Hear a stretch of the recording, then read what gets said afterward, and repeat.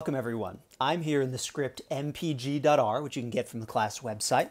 Uh, and we've got three learning goals in this script here. Number one is to understand the grammar of graphics as it's implemented in the R package ggplot2.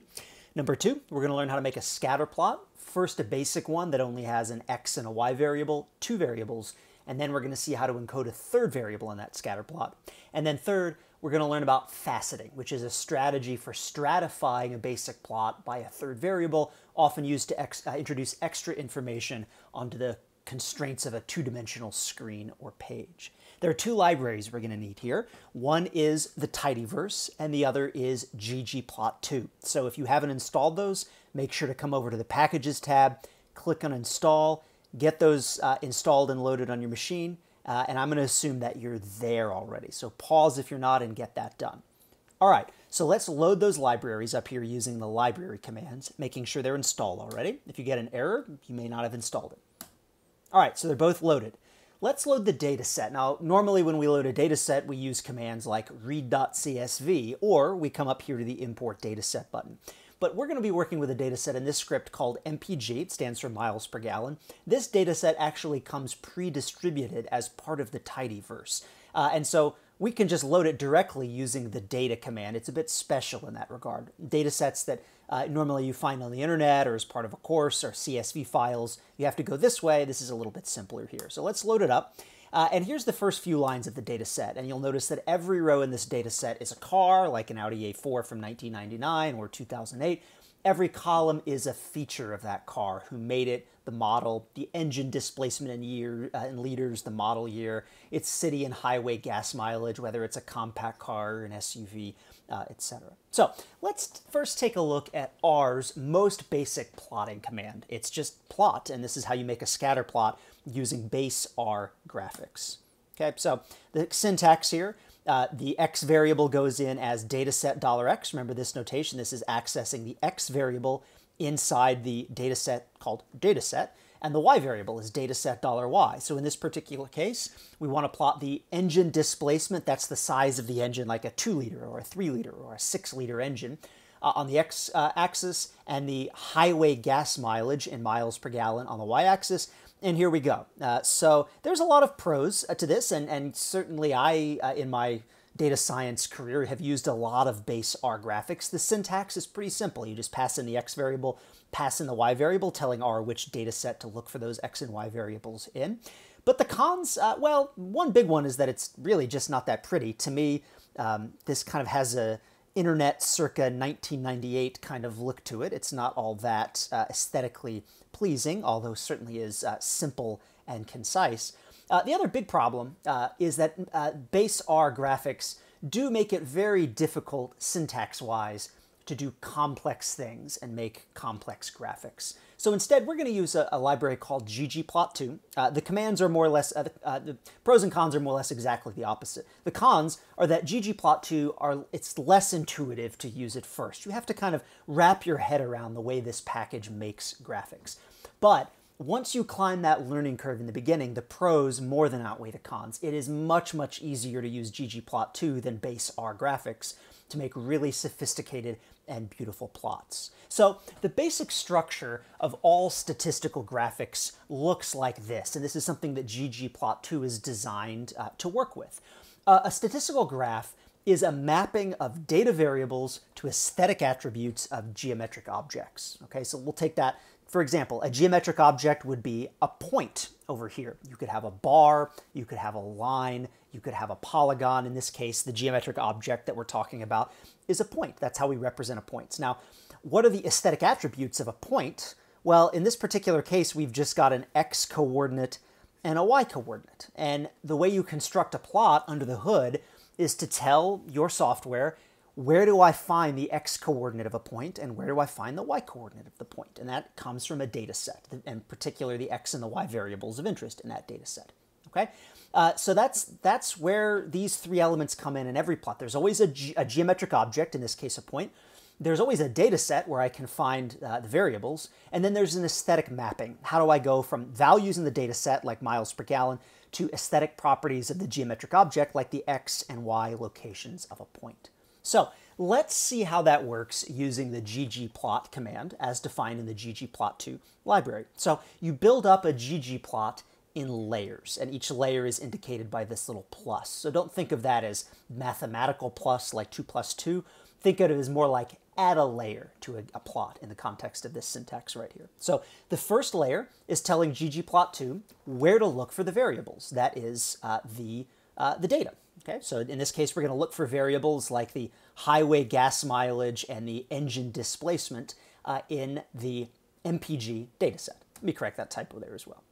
The second layer is then establishing our aesthetic mapping, and that's the AES command. Okay, this says uh, we're going to take the data variable DISPL, that stands for engine displacement in liters, and we're going to map it to the x or horizontal coordinate of our geometric object, which in this case is a point.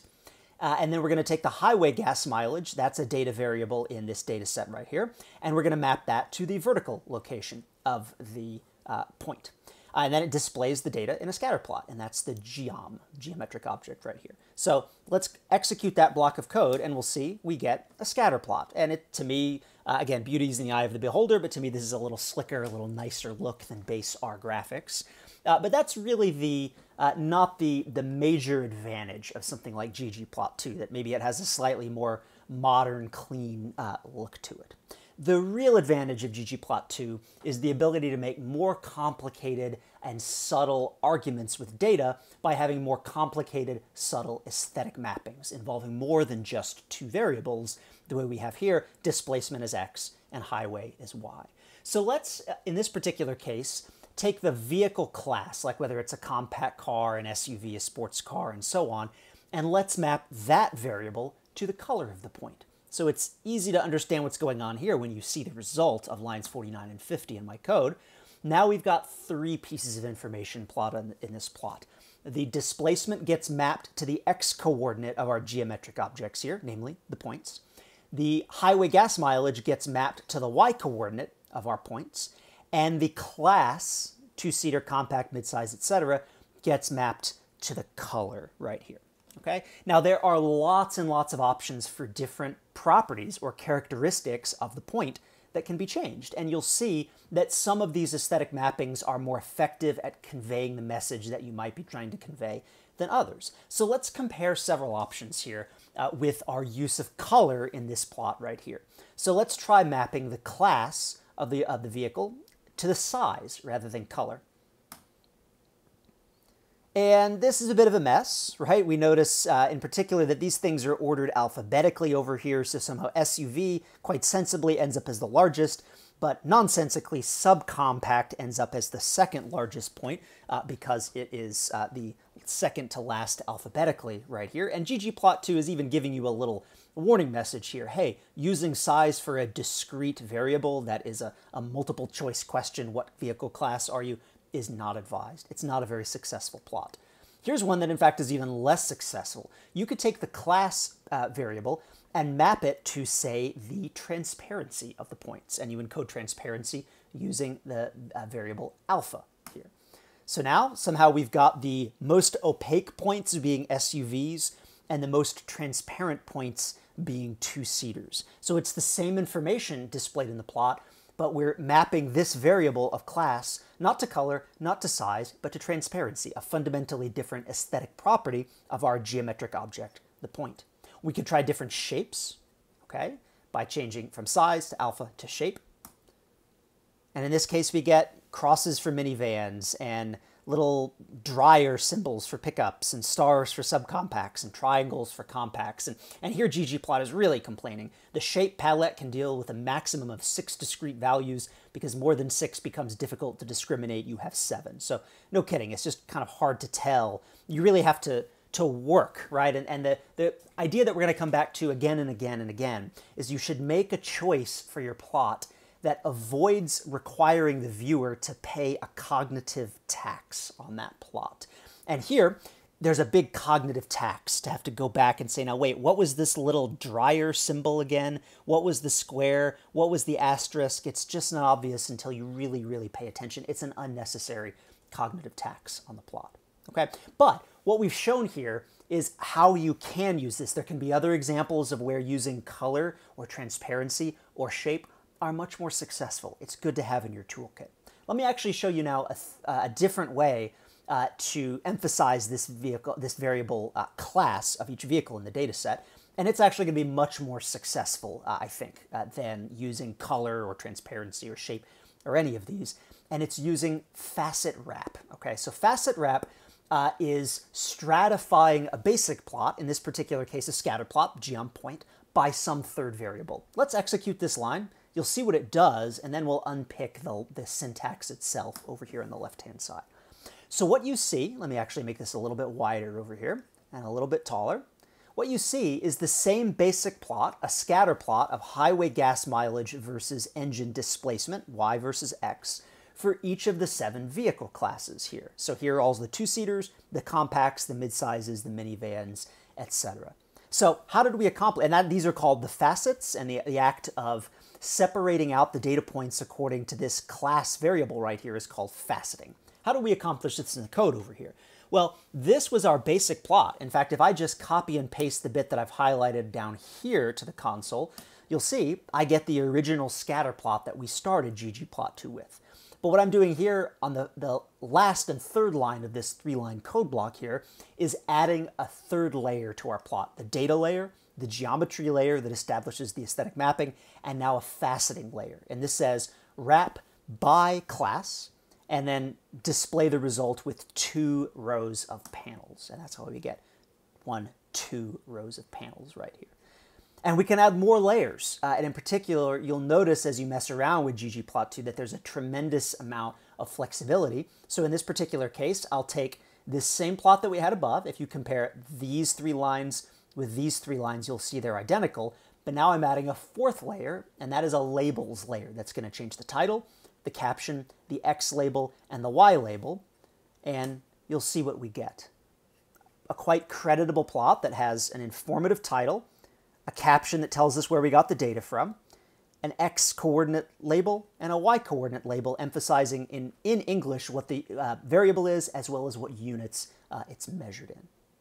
And that is a quick introduction to the capabilities of ggplot. So we've covered understanding the grammar of graphics, how every plot involves a data set, a geometry, in this case points, and a mapping from the data variables in the set uh, to the aesthetic properties of that geometric object. In this case, we've got X and Y locations of points, uh, as well as things like color, shape, transparency.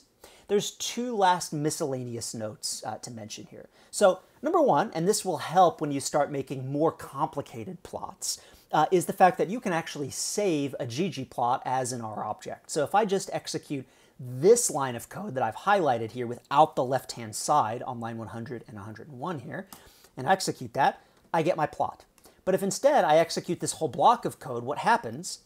Well, nothing different happens. It's just I've taken all of the information necessary to construct this plot, and I've saved it in an object that I've called P1. And now we can treat that P1 as something that we can add subsequent layers or adornments to. So let's take P1, and which is this plot up here, and add a facet wrap layer with two rows of panels. And now we get exactly what we did if we done the whole thing up here. Okay, it's just that this whole bit of code we had to uh, we were able to avoid and make our code more concise by defining it once. Now let's say I wanted to experiment and instead of having two rows of facets, just one row of facets. Oh, maybe the aspect ratio is a little bit messed up here, so we can kind of manipulate that over here, and you can make a decision for yourself about whether you think two rows or one row uh, or better. The nice feature of being able to save a plot uh, and then add subsequent layers to it makes that possible.